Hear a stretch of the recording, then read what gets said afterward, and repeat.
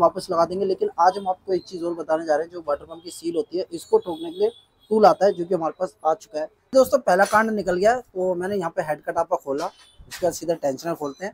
Welcome to दोस्तों, स्वागत है फिर एक नए वीडियो का। दोस्तों, आज की जो वीडियो वो है ड्यूक 200 के ऊपर, और इस ड्यूक 200 में आवाज़ बहुत ज़्यादा आ रही थी। मैं इंजन खोल चुका हूँ, और आप लोगों को साउंड नहीं सुना पाया था, लेकिन बाइक जब रेडी हो जाएगी, तब एक बार ज़रूर आपको साउंड सुनाएँगे। लेकिन इसके अंदर जो सबसे ज़्यादा दिक्कत है, वो है इसके इंजन के अंदर। दोस्तों, पहले ना ये इंजन हो चुका है, मैं आपको बता दूँ और इंजन इतनी बुरी तरीके से किया है, जिस मैकेनिक ने भी किया है, सब में छनिया तोड़े का यूज़ किया है। मैंने इंस्टाग्राम पे स्टोरी भी डाल दी आप जाके देख सकते हो, अगर आपने मेरे इंस्टाग्राम को फॉलो नहीं किया तो फटाफट से फॉलो कर लो। और चैनल पे पहली बार आया तो चैनल को करें लाइक शेयर सब्सक्राइब साथ में लाइक घंटी प्रेस करें, ताकि हमारी नेक्स्ट वीडियो का नोटिफिकेशन आप तक जल्दी पहुँचे चलिए दोस्तों, फटाफट से एक बार आपको इंजन दिखाता हूँ। और इंजन के अंदर क्या क्या डैमेज हो रहा है और क्या क्या दिक्कतें हैं, वो सब कुछ अभी आपको देखने को मिलता है। चलिए दोस्तों, फटाफट से लेके चलते हैं सीधा इंजन के पास। दोस्तों इसका ना इंजन इतना गंदा निकला था, एकदम कीचड़ कीचड़ निकला था बहुत ज़्यादा कीचड़ बना हुआ था, ठीक है? वो किस कारण से होता है? जैसे सस्ता ऑयल करा देना या ऑयल बहुत लेट कराना, या डीलर लोग क्या करते हैं, जब गाड़ी बेचते हैं तो क्वालिटी का ऑयल नहीं डालते, सिर्फ़ और सिर्फ़ वो बेचने के लिए हिसाब से डालते थे। और ये जिस बाइक की बाइक है, उन्होंने मुझे बताया था कि मैंने अभी सेकंड हैंड बाइक खरीदी है और अभी मुझे दस पंद्रह दिन हुए मुश्किल से। मैं कहा, ठीक है। और जब वो मेरे पास आए, मैंने बाइक को जब चेक किया तो मुझे साफ़ पता लगा था, इंजन में दिक्कत है। मैंने उनको कहा कि, भाई, जो आपका इंजन है, उसमें दिक्कत है। लेकिन इतनी दिक्कत होगी, ये मुझे नहीं पता था। तो चलिए दोस्तों, फटाफट से खोलते हैं और खोलना स्टार्ट करते हैं। लेकिन उससे पहले ये देखो, यहाँ पे देख रहे हो? ये देखो, यहाँ पे जो बहुत ज़्यादा छैनी मारी हुई है, देख रहे हो? छैनी से काम किया हुआ? है ऐसा लग रहा है किसी मैकेनिक ने नहीं, किसी कवाड़ी ने काम किया। देखो, ये देखो ये देखो। अगर भाई टूल नहीं है ना तो अगर आप कहीं पे आपकी बाइक और आप रिपेयर करा रहे हो, वहाँ पे इंजन करा रहे हो, कुछ भी करा रहे हो छनी अगर बाइक के अंदर मार रहा है तो आपके इंजन को ठीक नहीं कर रहा और बर्बाद कर रहा है और खराब कर रहा है इंजन को। तो कोशिश करें, ध्यान रखें, जहाँ पे प्रॉपर टूल है और जिसको नॉलेज है केटिंग में, वहीं काम कराओगे, तभी आपके इंजन की लाइफ बनेगी। बहुत सारे लोग बोलते हैं ना इंजन होने के बाद मज़ा नहीं आता। भाई, एक बार इंजन हमसे करा के देखो, अगर मज़ा ना है फिर बोलना। अभी तक जितने भी इंजन किए हैं, सबके बढ़िया चल रहे हैं, ठीक है? ये देखो, कभी ये जो हेड की पैकिंग होती है ना, इसके अंदर कभी भी बॉन्ड नहीं लगती। मैं यहाँ से, जैसे कि आपको नज़र आ रही हूँ मैं जो देख पा रहा हूँ, यहाँ पे बॉन्ड मुझे नज़र आ रही है। बॉन्ड लगी यानी कि जो इसका इंजन पूरा का पूरा हो चुका है। ये वाला नट खोलने का मतलब होता है कि पूरा जो मैन इंजन है मतलब मैन क्रैंक है वो खुल चुकी है। और इसका क्रैंक का मैं आपको बोल्ट दिखाऊँगा। एक चौदह नंबर का अजीब सा बोल्ट है, जो क्रैंक का बोल्ट है ही नहीं, ठीक है? तो फटाफट से दूसरी तरफ़ दिखाता हूँ और फिर सीधा खोलना स्टार्ट करता और दोस्तों, एक चीज़ और, जैसे मैं क्लच कवर खोला ना मैंने, ये वाला नट जैसे खोलने के लिए टूल का यूज़ किया तो पता लगा ये नट ही लूज था, ठीक है? ये वाला नट लूज था और ये भी ये भी लूज था। लेकिन देखो, इस पे भी छह नहीं का यूज़ हुआ देख रहे हो? ये देखो ये देखो ये देखो, कितनी ज़्यादा तो ये सारे सारे जितने भी आपको बोल्ट नट बोल्ट नज़र आ रहे हैं ना, ये वाले और ये वाला दो दो वहाँ के ये कंप्लीट पूरा चेंज कर दूँगा, नए डाल दूँगा दोस्तों, ताकि अगली बार जो है अच्छा लगे देखने में कि हाँ बढ़िया जगह पे इंजन हुआ है। ठीक है, अगर फ्यूचर में खुलता है तो। और देखते हैं मिस्त्री ने या मकैनिक ने क्या क्या कांड करे हुए अंदर। दोस्तों, पहला कांड निकल गया तो मैंने यहाँ पे हेड कट आपका खोला, उसके बाद सीधा टेंशनर खोलते हैं। तो ये पहला कांड स्टार्ट हो गया है, जो किया है इसके अंदर, ये देखो। ये देख रहे हो, गिनते रहो दोस्तों, अब इसके अंदर कितने कांड होने वाले ये देख रहे हो, ये टेंशनर है, और टेंशनर के आगे यहाँ पे बोल्ड लगा दिया है।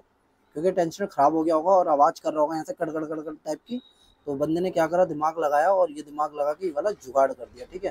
तो ये जुगाड़ बहुत खतरनाक है और होना चाहिए। पहला कांड है, दूसरा कांड इसकी पैकिंग देख रहे हो? ये देखो, ये लोकल पैकिंग ठीक है? और इसमें बॉन्ड का भी इस्तेमाल किया हुआ है। दोस्तों, ये देखो साइड में अगर नज़र आएगी आपको, ये देखो बॉन्ड का भी काम किया हुआ ये हो गया यहाँ पे तीन कांड जिसकी वजह से हो सकता है इंजन डैमेज और इंजन तो डैमेज हो गया, लेकिन और पार्ट डैमेज हो सकते थे ठीक है? तो दोस्तों, चौथा कांड ये देखो जैसे कि आपको ये नज़र आ रहा है, ये वाला पाइप जो कि कूलेंट यहाँ से पास होता है, और ये वाला बोल्ट खोलने के लिए ये हटाना पड़ता है, ठीक है? हटाना तो ठीक है, उसके बाद लगाने के लिए इतनी सारी बॉन्ड भर देना, ठीक है? ये देख रहे हो, बहुत सारी बॉन्ड लगा रखी है, इतनी बॉन्ड नहीं लगानी, अगर इतनी सारी बॉन्ड लगा देंगे तो कूलेंट कहाँ से सब पास होगा? ये देखो, अंदर देखो, इसके अंदर देख रहे हो कितना ज़्यादा, और इसकी हालत देख रहे हो, ये देखो, इसको अच्छी तरीके से प्रेशर से साफ़ किया जाएगा, ये देखो।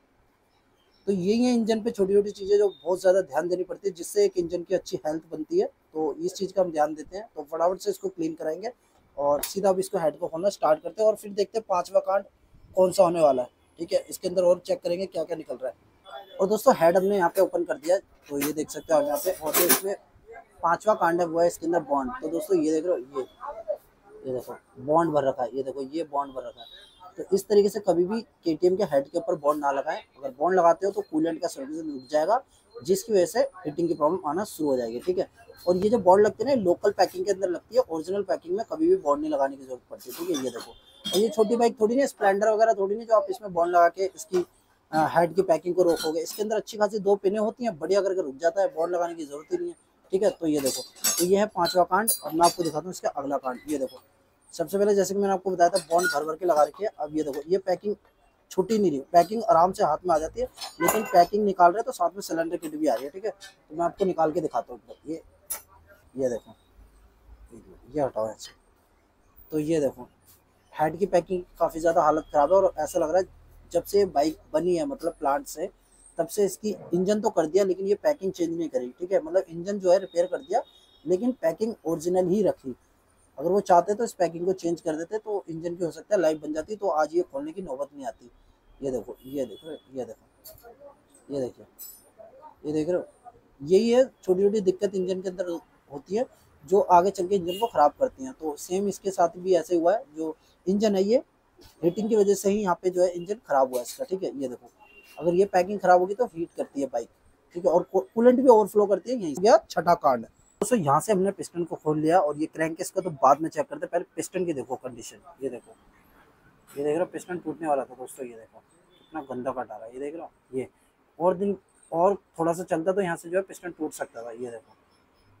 तो दोस्तों, आप देख सकते हो, ये जो बहुत ज़्यादा इसमें जो लाइन आ रही है, इसकी वजह से पिस्टन पूरा का पूरा टूट सकता था। लेकिन इन्होंने सही टाइम पे इंजन करा लिया, ये अच्छा हुआ, वरना बहुत ज़्यादा इसमें दिक्कत हो सकती थी, ठीक है? तो जैसे कि आपको मैं क्रैंक के बारे में बता रहा था तो ये जो क्रैंक असली है तो ये जो है खड़ी पली भी बहुत ज़्यादा है इसमें और इसके अंदर काफ़ी नुकसान हो गया है। और दोस्तों, सातवा कांड, ये जो आपको नज़र आ रहा है पिकअप कॉयल ये देख रहे हो, ये टूटा हुआ है, ठीक है, ये देखो। तो ये पिकअप कॉयल है और इसकी हालत भी बहुत ज़्यादा ख़राब लग रही है, ठीक है, और ये टूटा हुआ है, ऐसे ही लगा दिया। और प्लस यहाँ पे जो एक मैग्नेट को रोकने के लिए पत्ती होती है, वो भी मिसिंग है इसमें, ठीक है। तो दोस्तों मैन चैम्बर में खोलने जा रहा था तो देखो, एक, दो तीन और ये चार, चौथा वाला मिसिंग है। तो ये है छठा कार्ड देख रहे हो, इसके अंदर बोल्ट ही नहीं लगाया बंदे ने, जिसने काम किया था। एक, दो, तीन, चौथा बोल्ट मिसिंग तो ये है छठा कार्ड तो फटाफट से और देखते क्या निकलता है इसके अंदर। सो फाइनली गैस यहाँ पे जो क्रैंक खोल चुके हैं, आप देख सकते हैं यहाँ पे ये जो क्रैंक है, ये ख़त्म हो गई है, पूरी पूरी सीज मार गई है। और इसको चेंज करते फटाफट से, जैसे कि इसके अंदर जो है क्रैंक के अंदर एक बैरिंग आती है और एक बैरिंग हमें चैम्बर में अपनी तरफ़ से डालनी पड़ेगी, ठीक है?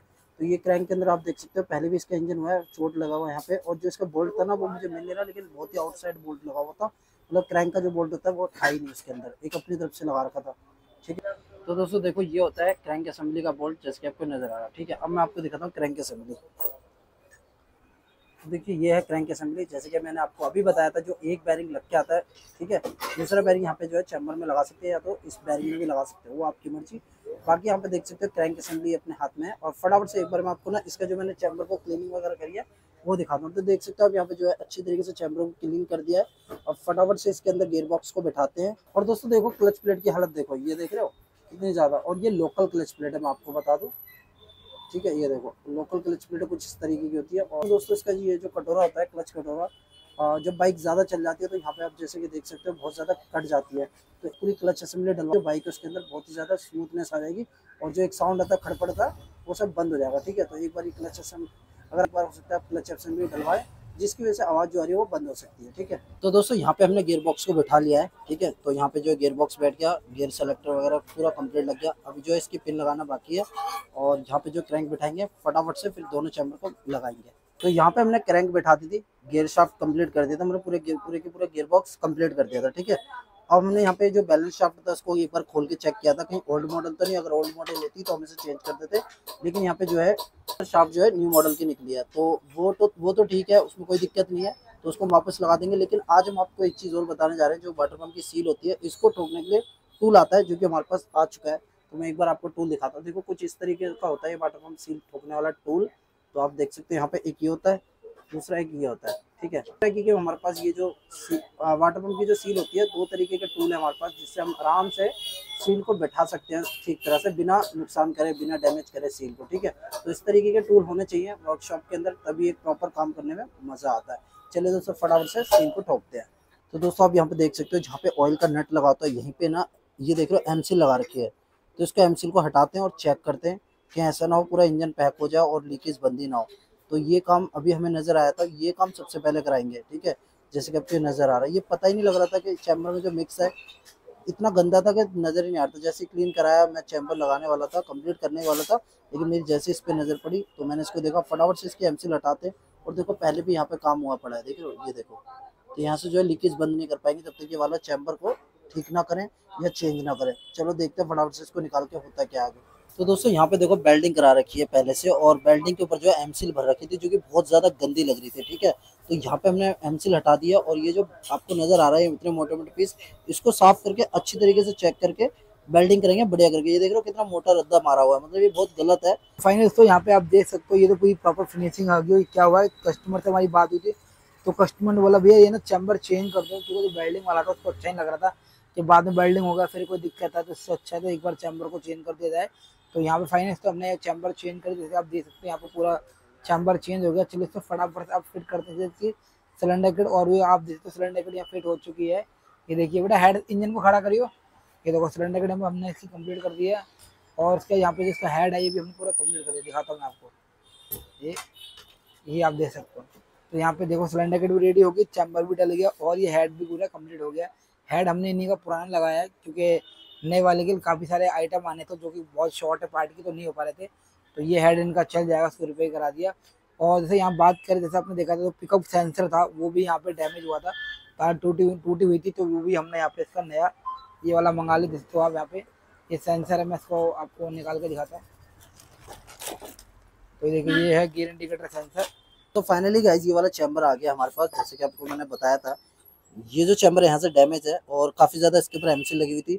तो कस्टमर से यहाँ पे हमारी बात हुई थी तो उनको हमने ये जब दिखाया, उनको नहीं पता था कि उनकी बाइक के अंदर जो है, यहाँ पे एमसी वगैरह लगी हुई क्योंकि उन्होंने सेकेंड हैंड बाइक खरीदी है। तो सेकेंड हैंड बाइक खरीदते समय हमें नहीं पता होता कि इंजन के अंदर या बाहर क्या डैमेज है, क्या क्या जब इंजन प्रॉपर हाथ में आता है और खोलते हैं और आगे जब चेक करते हैं, तब पता लगता है कि यार ये चीज़ तो नुकसानदायक है। तो देखो, ये इसलिए मैंने इनको कस्टमर को बोला था कि एक बार इसको देख लो आके, क्योंकि ये ऑयल नट के पास है बिल्कुल यहाँ पे, ठीक है? क्या होगा? अगर ये ऑयल के नट हल्का सा टॉर्क ज़्यादा लग जाएगा, या हल्का सा हो जाएगा, या हो सकता है यहाँ पे जो है लीकेज ना रोके, क्योंकि बिल्कुल नीचे का हिस्सा ये। तो ये जो है, इसकी वजह से ये जो चैम्बर हमने कस्टमर को दिखाया और कस्टमर का ठीक है, इस चैम्बर को आप चेंज कर दो। तो फाइनली ये चैम्बर हमारे पास आ चुका है और ऑलरेडी ये गोदाम के अंदर पड़ा हुआ था चैम्बर हमारे पास। तो हमने फटाफट से गोदाम से लेके आए अपने चैम्बर और यहाँ पे आप देख सकते हो चैम्बर कुछ इस तरीके से यहाँ पे लगा दिया। और इंजन की जो है फिटिंग भी हो रही है और मैं आपको कंप्लीट दिखा दूँगा अभी। तो यहाँ पे आप देख सकते हो, इसकी जो टाइमिंग यहाँ पे हमने मिला चुकी है, जैसे कि आपको नज़र आ रहा है, दोनों डॉट आमने सामने रहना चाहिए, ठीक है? तो यहाँ पे चैम्बर लग गया टाइमिंग मिल गई, यहाँ पे हमारी सिलेंडर किट बैठ गई, ठीक है? और जो हेड के अंदर सिम का काम होता है, वो वाला काम भी कंप्लीट हो गया। तो यहाँ पे सिम की सेटिंग हो गई हेड भी बैठ गया और सिलेंडर किट भी, और यहाँ पे जैसे कि आप देख सकते क्लच कटोरा। तो क्लच कटोरा भी हमने पूरी क्लच असेंबली नहीं डाली क्योंकि क्लच असेंबली के पास यहाँ से जैसे ऐसे उंगली लगा रहे हैं ना हम तो उसके ऊपर कटने के काफ़ी ज़्यादा निशान आ रहे हैं, जो कि बाइक चलाते समय हल्का सा क्लच जो है जर्क करेगा। तो ये देखते हुए हमने फटाफट से यहाँ पे इसको चेंज किया और साथ में इसके होता है ऑयल पंप तो नीचे की तरफ़ देख सकते हो यहाँ पे जो ऑयल पंप लगा होता है, क्योंकि इंजन ऑयल बहुत कम निकल रहा था और जो सिलेंडर किट की हालत थी वो बहुत ज़्यादा खराब थी पिस्टन भी ब्रोकन था तो हो सकता है जो इंजन ऑयल की सप्लाई वो कहीं ना कहीं ब्रोकन है, कहीं ना कहीं रुकी हुई है। तो इसलिए हमने सोचा क्यों ना ऑयल फ़िल्टर चेंज कर दो। जो ऑयल फ़िल्टर हमने निकाला तो ऑयल फ़िल्टर जो है सीज था। तो वही मैं आपको दिखा दूँगा एक बार, ठीक है? चलिए दोस्तों, फटाफट से हेड का टापा लगाते हैं हेड बिडिंग लगाते हैं और कंप्लीट यहाँ पे इंजन को करते हैं फटाफट से। चलिए दोस्तों, अब फटाफट से एक बार मैं आपको पार्ट्स चेक कराता हूँ, जो जो इसके अंदर लोकल निकले हैं और जैसे मैंने अभी आपको बताया था, जो ऑयल पंप है, वो सीज था। तो देखो, ये रहा ऑयल पंप ये देखो, ये रहा ऑयल पंप ये देख रहे हो, ये छोटी छोटी जो निशान आ जाते हैं ना, इन्हीं की वजह से क्या होता है ऑयल चढ़ता नहीं पर तो ये देखिए, यहाँ पर ऑयल पंप जो है सीज मारा हुआ है तो ये हमने फटाफट से यहाँ पे चेंज कर दिया और बात करें इसकी क्लच प्लेट की तो क्लच प्लेट भी इसकी लोकल निकली है और टाइमिंग चैन तो रोलन की निकली है ठीक है? और टेंशनर के अंदर आपने जुगाड़ देख लिया तो मैंने आपको वीडियो के अंदर बताया था जो इसका ये जो क्रैंक का नट है मैं आपको ज़रूर दिखाऊँगा। तो देखो ये जुगाड़ देख रहे हो ये वाला नट तो होता ही नहीं है क्रैंक का जैसे कि आपको नज़र आ रहा है। और ओरिजिनल क्रैंक का नट दिखाता हूँ मैं आप, आपको जो हमने इसके अंदर क्रैंक असेंबली डाली है देखो। ये कुछ इस तरीके का बोल्ट होता है और लेकिन देखो इसके अंदर ये वाला बोल्ट लगा हुआ देख रहे हो आप? ये देखिए। तो ये है सारा का सारा इस इंजन के अंदर जो है बहुत ज़्यादा जुगाड़ हुआ पड़ा था। और फाइनली अब इसका जो है, अच्छी तरह से इंजन का काम हुआ है। अब ये जो इंजन है, बढ़िया चलेगा, ठीक है? चलिए दोस्तों सो फाइनली गाइज़ यहाँ पे इंजन चढ़ चुका है, जैसे कि आपके नज़र आ रहा है, और जो बाइक है, पूरी रेडी कर चुके हैं पहले पैन लगा चुके हैं रेडिएटर लगा चुके हैं, और अब जो है बाइक में सेल्फ मारना बाकी है। तो फटाफट से सेल्फ मारते हैं और सेल्फ का साउंड सुनते हैं, कैसा है मतलब कि इंजन का साउंड सेल्फ का नहीं इंजन का। और देखो मीटर के अंदर लाइट नहीं आ रही, यानी कि मीटर खराब है। जब भी इंजन होता है ना दोस्तों मीटर के अंदर लाइट होनी चाहिए मतलब के बाइक ऐसी है, इसके अंदर मीटर होना चाहिए और मीटर के अंदर लाइट आनी चाहिए। तभी पता लगता है कि ऑयल लेवल का प्रेशर ठीक है या नहीं है कूलेंट हाई टेम्परेचर वगैरह मतलब सब कुछ यहाँ पर पता लग जाएगा। लेकिन अगर ये बंद है तो रिक्स होता है बाइक चलाना। अगर आपके मीटर में दिक्कत है तो ठीक करा लो, ताकि जो भी इंजन के अंदर कोई भी दिक्कत आती है तो वो मीटर के अंदर शो हो जाता है, जिससे आप अपने इंजन को हीटिंग को, सबको रोक सकते हो या कोई बड़े खर्चे से बच सकते हो। चलिए दोस्तों, फटाफट से सेल्फ मारते हैं और फिर इंजन का साउंड सुनते हैं। पहले चेक करनी पड़ेगी न्यूट्रल है कि नहीं है? चलो तो साउंड सुनिए दोस्तों एक बार।